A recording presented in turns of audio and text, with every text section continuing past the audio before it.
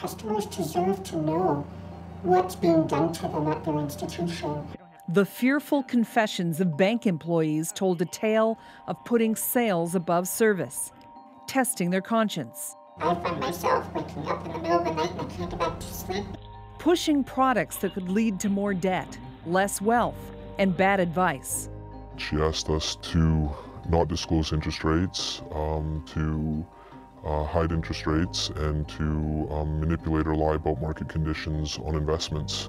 For those familiar with Canadian finance, it was no surprise.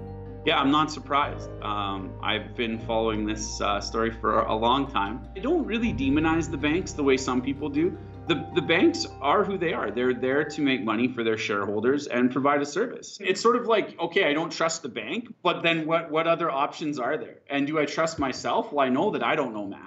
Yes.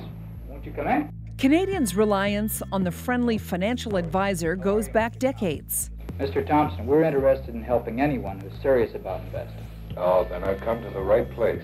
You certainly have, sir. Cigarette? No, thank you. Previously, it was a service culture. They were a trusted advisor. They weren't primarily oriented towards making sales. Then you don't want me to place an order for some of these stocks today? No. You look this stuff over, and when you've decided on the type of stock that appeals to you, we can go about the formal opening of the account. Increasingly, big banks became financial supermarkets, taking over trust companies, brokerages, and mutual funds.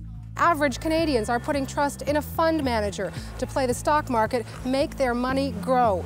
And the role of financial advisors shifted. So perhaps in the 80s was when the banks started to think about implementing a sales and service culture. And that's when the essential conflict entered in that suddenly they were no longer simply interested in servicing and responding to consumers and became more interested in proactively selling. Now, one in three Canadian households has their money parked in mutual funds, more than $1.3 trillion. The big bank's financial advisors usually get commissions on those sales and charge Canadians what analysts say are the highest fees in the developed world.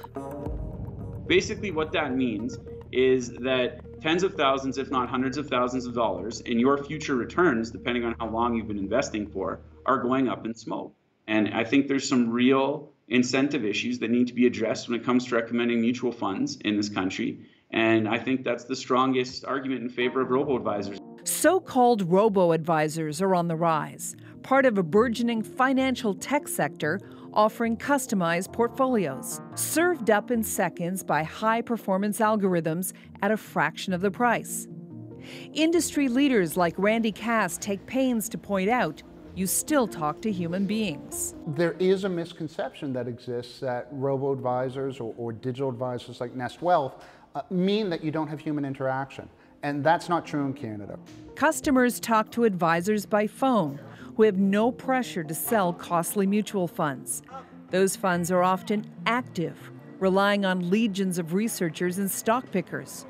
Robos use passive products like exchange traded funds and index funds that track rather than try to beat the market. Turns out that strategy works extremely well. The active managers would claim that they can actually outperform the market in the long run.